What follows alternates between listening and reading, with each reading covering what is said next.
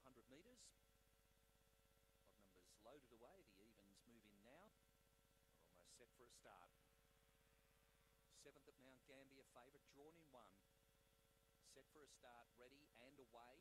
Uh, Bungaloo began smartly down on the inside. Born Rose Shady passed up with it early and they're well bunched. Nero Valentino uh, whips around them now. Nero Valentino takes over. Three in front. Bungaloo second, followed by Born Rose. Then came Cadillac Prince Shady past.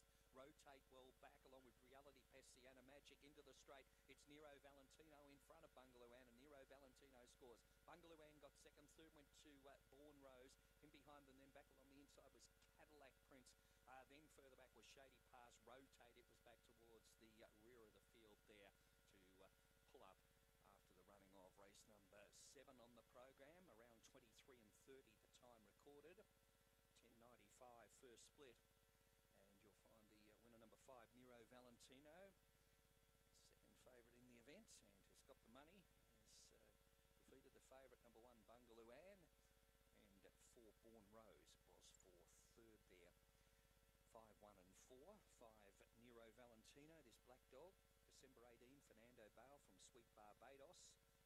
Career win 12 now from 50 starts. Kerry Lucy Hawker, the owner and trainer.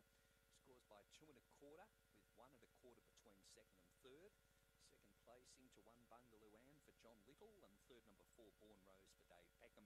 Officially fourth in number six.